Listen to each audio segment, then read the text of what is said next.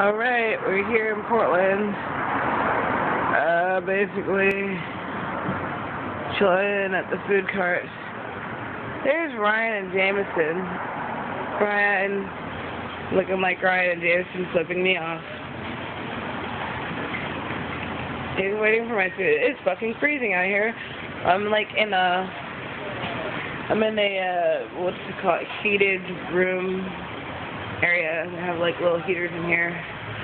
Right now it's it's fucking 30, 32 degrees outside, man. It's freezing. So if you ever come to Portland, come check this place out. It's pretty awesome.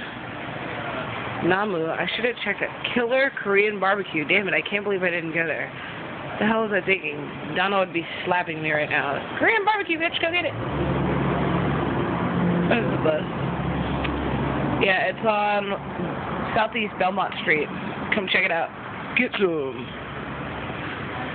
Where the hell are they? I'm fucking hungry. God damn it.